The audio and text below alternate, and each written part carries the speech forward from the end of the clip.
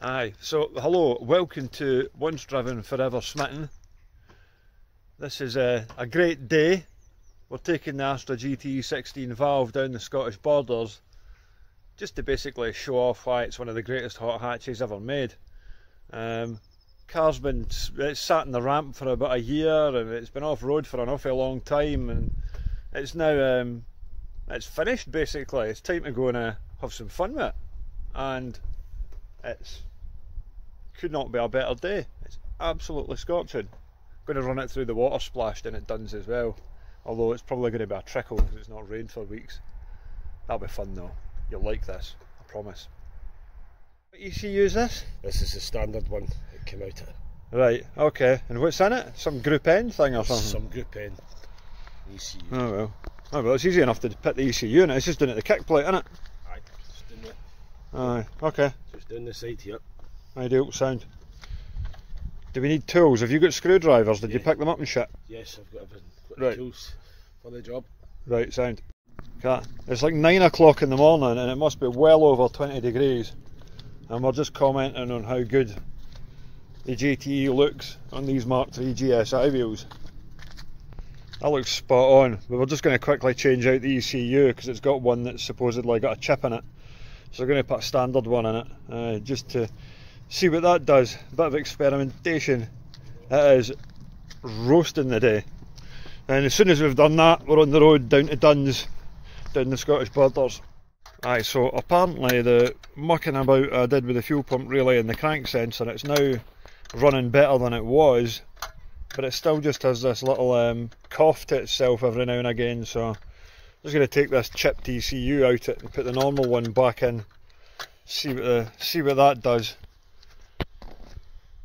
That's what's come out it. What does it say on it? Turn it the other way around.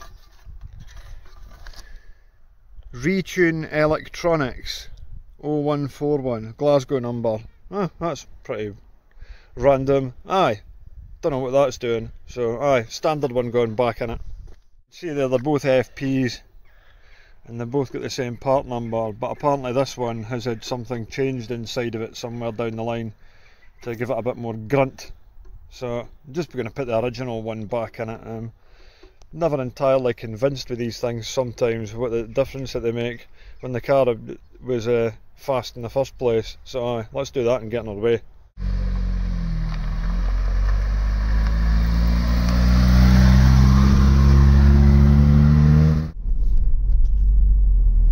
Uh, we're just um, at Pathhead at the moment on the A68 on the way down to Duns.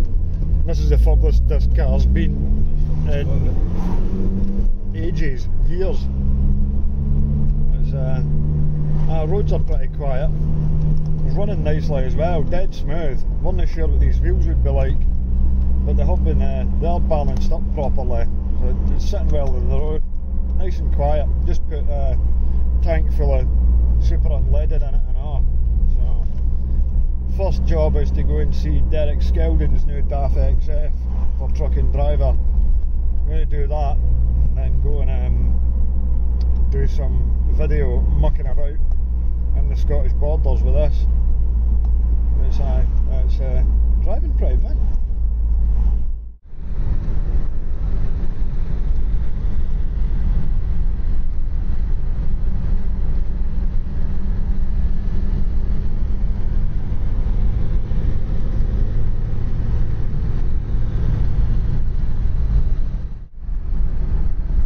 What's that? Is that a camera van or a camper van? It's a camper van.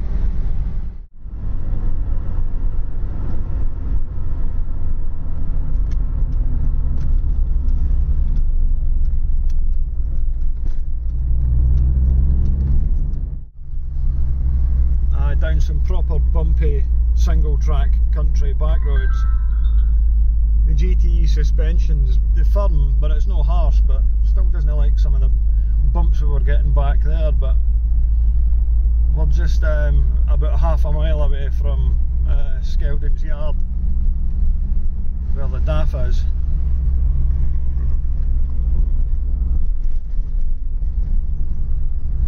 Up here on the left somewhere. So that's us here just outside Duns. having a look at this um, DAF XF behind me, which has been done uh, a special paint job um, done as a tribute uh, by Derek Skeldon to his dad in the history of the company.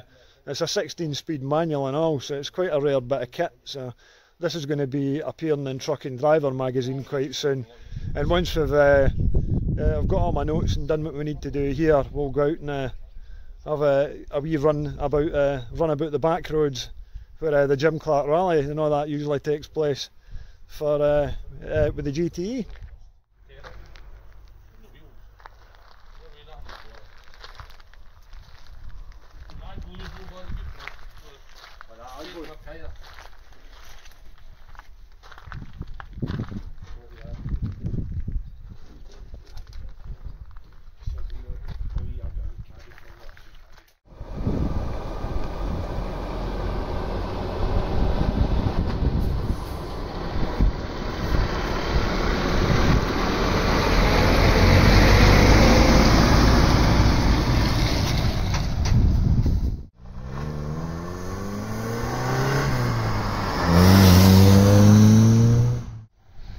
I've just stopped off in Duns where it's surprisingly quiet.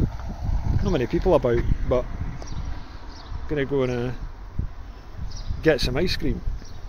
Duns is traditionally known for hosting the Jim Clark Rally, and it used to be the whole main street of the town used to be taken over by all the rally teams, and you could walk about the cars and all that sort of stuff. Um, I don't know what's happening with it, um, if it's coming back next year or what sort of format it's going to have, but like 20 years ago, it was brilliant back in the day. So we're going to go down and uh, run the car along a couple of wee bits, a uh, couple of famous uh, locations for uh, the Jim Clark Rally, uh, the Langton Water Splash, which uh, we'll see how Kenzo feels about running the car back and forward through that a few times, in the interests of good video clips. But I'm going to get an ice cream first. It'd be rude not to. Ice cream cone success. Most important part of the day. Uh, mint choc chip and uh, vanilla tablet.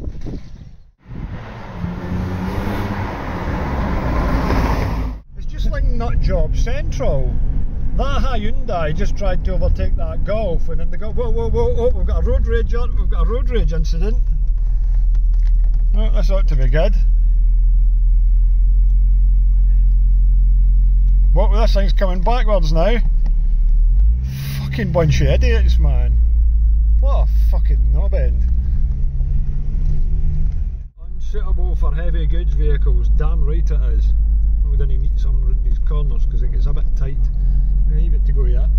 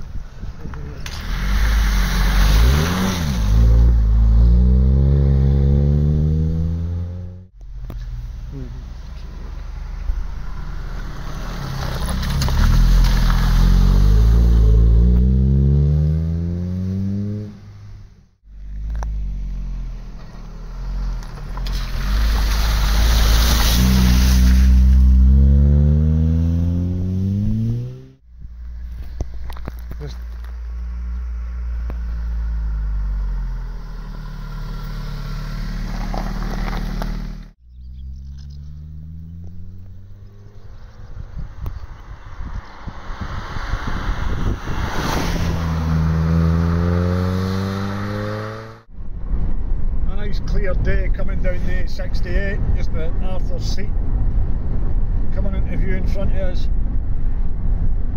In the Forth estuary.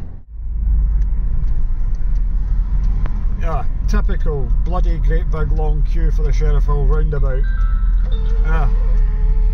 Knew should have went through Dalkeith. Oh well. Nothing for it but to trundle along. This is needing overpass badly, but at least the traffic does tend to keep moving. Ah, it's a grand queue of traffic going the other way in the bypass as well now. Sunny Sunday afternoon, no.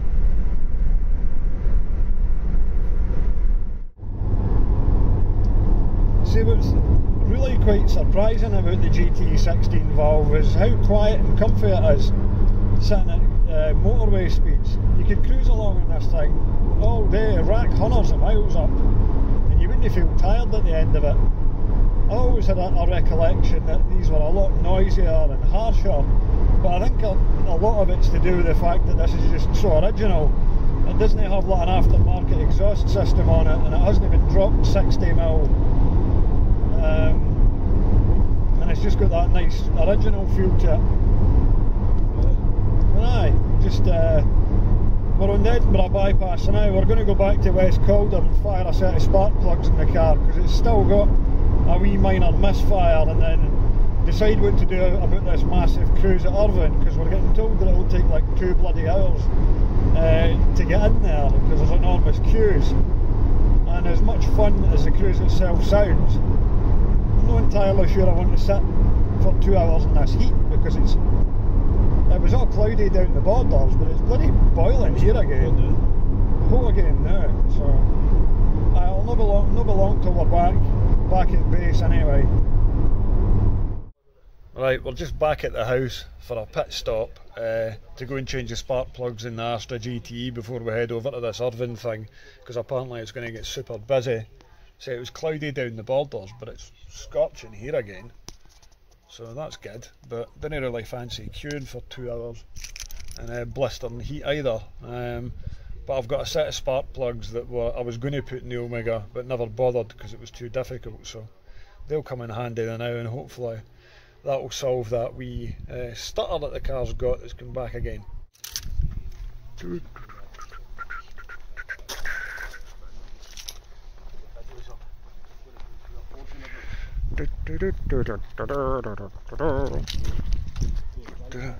I've also got to go and send a deposit because I'm buying another Vectra, the same colour as that one, to uh, go and make one good one out the two.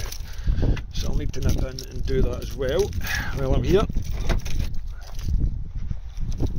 Hope these spark plugs are in here. Yes, they are.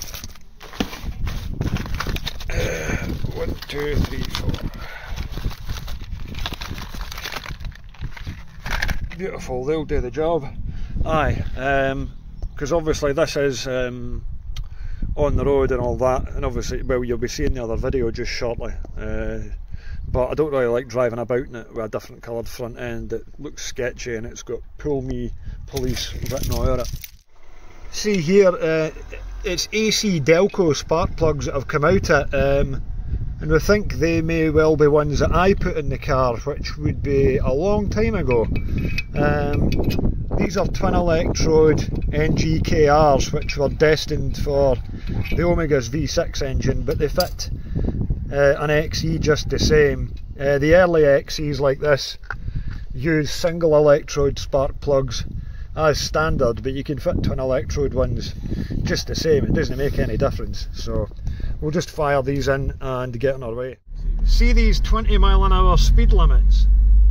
We've just come into Breich and you see, I mean, it's a big wide road set back from the, uh, you know, the houses are set back from the main part of the road and we've just come in and somebody's stood on the brakes right down to like under 20 mile an hour which has um, caused somebody behind to go and like sit right up their arse so they're just winding each other up.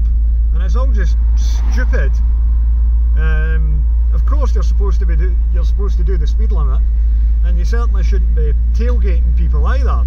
But the fact is that these 20 mile an hour speed limits are far too slow for the road. They're just nonsense. They're not doing anything for uh, road safety at all and you just know that we're going to be stuck with them permanently. Right, so apparently this um, big Irvine cruise thing is absolutely heaving. But I've been getting some like uh, Facebook messages saying that um, there's some Vauxhalls parked there and um, they might be, be able to shuffle up a bit and squeeze us in. Um, so we'll see what happens there now. I think that's the phone maybe ringing.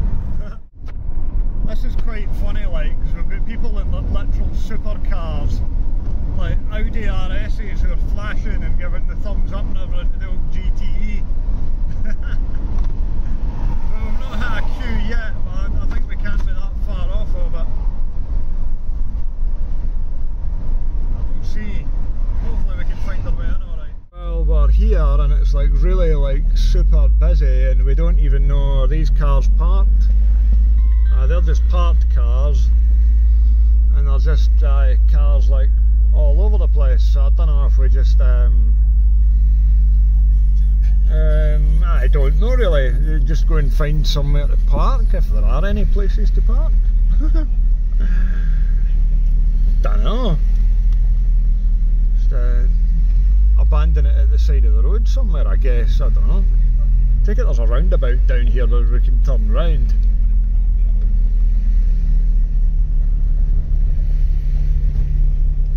Plenty of stuff everywhere space on like a grassy area to our left. I don't know how we get onto it. If we can just um, squeeze ourselves in there, that'll do just perfectly. There's a nice looking Cossie.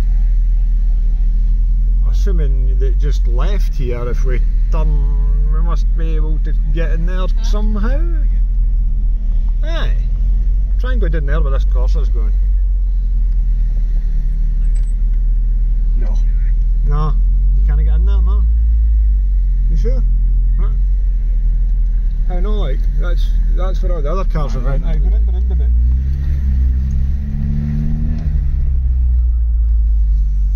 Ah, we just aye, go in. Go right, go right round, make your indicator.